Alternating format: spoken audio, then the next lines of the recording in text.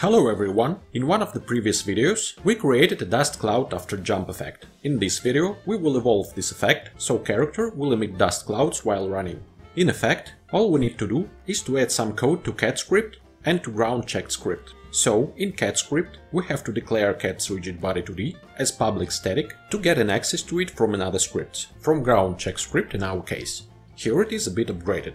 So, dust cloud reference is still here, and a couple of new boolean variables are added, which are coroutine allowed and grounded ones. In OnTriggerEnter2D method, we check if ground check game object collides with ground, and if it does, then grounded is set to true, coroutine allowed is set to true as well, and as our character lands, dust cloud is instantiated one time.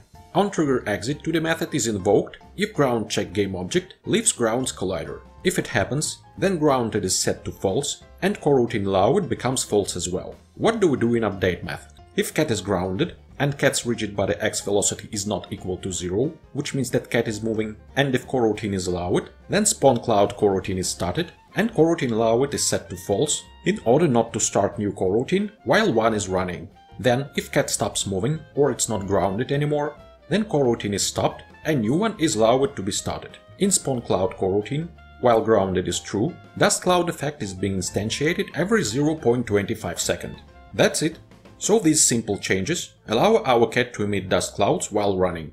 Hope you like this tutorial, thank you for watching, see you next time!